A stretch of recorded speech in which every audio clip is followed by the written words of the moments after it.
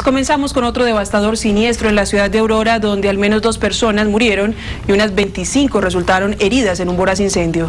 Vanessa Bernal se encuentra en vivo con más sobre esta tragedia que tomó lugar en un complejo de apartamentos. Vanessa, el edificio donde ocurrió este siniestro está muy cerca de donde residía James Holmes, el acusado de la masacre en el cine de Aurora. ¿Qué dicen los vecinos del lugar? Juan Carlos, simplemente no pueden creer que una zona donde antes los niños jugaban felizmente, ahora está marcada por dos macabros incidentes y además hace poco se informó que los muertos serían dos inmigrantes asiáticos.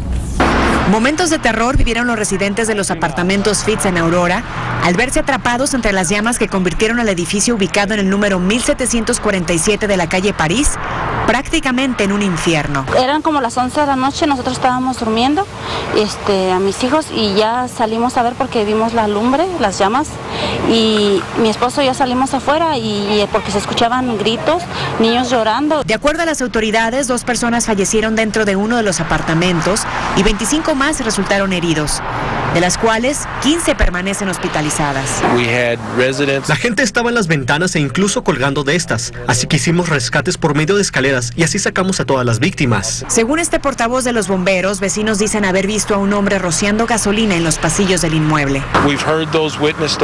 Escuchamos esas declaraciones de algunos testigos y los investigadores están recopilando la evidencia para conocer la causa que provocó este incendio. Residentes de los departamentos, así como edificios contiguos, fueron evacuados al refugio instalado por la Cruz Roja en la escuela primaria París, localizada a un par de cuadras del siniestro, en donde albergaron a 41 personas. Muy difícil perder todo, porque este incendio fue bastante duro y sentimos para ellos. Y además esto viene después de otros desastres recientes. Vecinos están preocupados por los hechos que han marcado esta zona en las últimas semanas.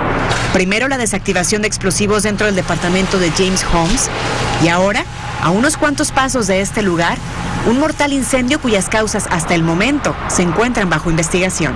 Me da miedo estar aquí en este rumbo aquí y pues me gustaba aquí, este, porque mis hijos estaban aquí, están aquí en esta escuela y pues está bien tranquilo aquí. Pero pues ya sabiendo esas cosas, lo que pasó con este muchacho y luego del incendio de provocado, sí está, está peligroso. Niños que incluso tienen miedo de venir a la escuela porque dicen que vivía cerquita y que si les puede pasar algo.